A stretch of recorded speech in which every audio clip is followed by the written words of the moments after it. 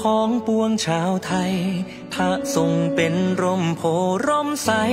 จอมทัพไทยผู้งามสง่า แผ่นดินร่มเย็น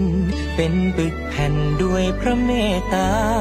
ดุดดังแสงทองจากฟากฟ้า สู่พระสุดท้ายไพรฟ้าสุขใจสดุดีก้องฟ้าพระราชาและจอมราชัน งเปี่ยมพระปรีชาชาญ